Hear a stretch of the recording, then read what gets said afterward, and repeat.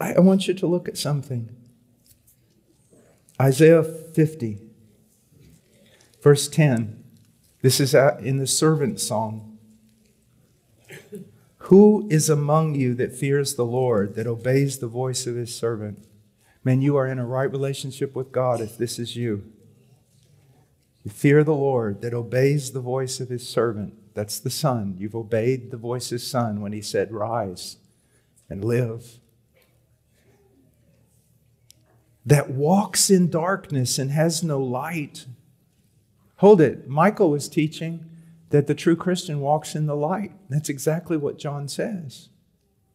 That's exactly what John says. Walks in the revelation of God, walks in the light of God. The yes, the purity of God, all that. So, so what is he saying?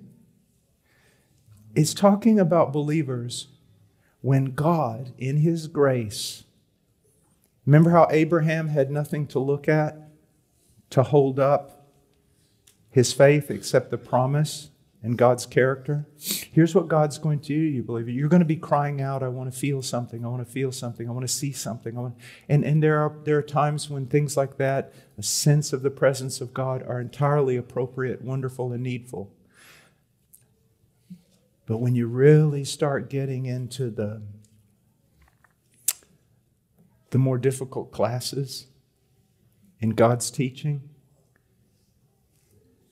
he will leave you at times in utter darkness,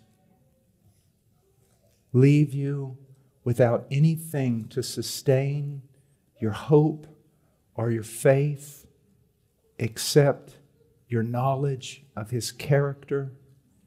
And if God promised to hold the hand of Messiah when He walked on the earth, you can be sure that He holds the hands of the Messiah's disciples. So let him trust in the name of the Lord and rely on his God. Let him do that.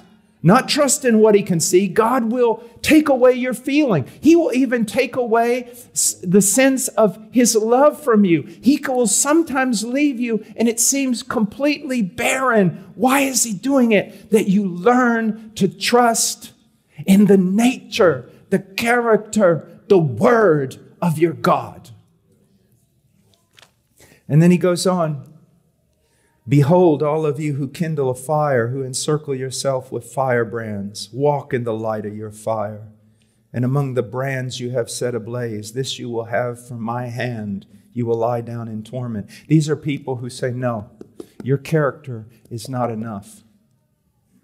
Your word is not enough. I need to see something. I need to feel something. And so they go out there and they acquire strange fire.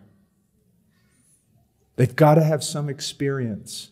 They've got to have something because just trusting in the nature of God. And so many believers will come to me and they'll go, I'm believing, but it's almost as though I, I see nothing. I feel nothing. There's nothing to support me at all. And I'm going, oh, child. And yet, you find yourself believing and yet, you find yourself going forward. Or I'll tell them something like this Good enough. Seems quite hopeless in your case. Did you drink and party before you uh, became a Christian? Oh, yes, I did. We'll go back to it. If I was you, let's eat and drink, for tomorrow we die. I can't do that.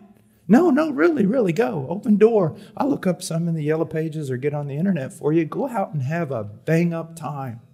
I can't do that. Why? Why? Because of my God. Hmm. Sounds to me like God is making you a spectacle at this moment. And He's very happy because He has left you with nothing. He's drawn from you everything. And yet at the same time in heaven, He's boasting of you. Look at my servant who walks in darkness and has no light, but trusts in my name. Do you see? Now, so many of you can identify with that, and you're going, What I thought was a desert because of my sin is actually God getting greater glory from me than He would have if I had all kinds of things around me supporting up my faith.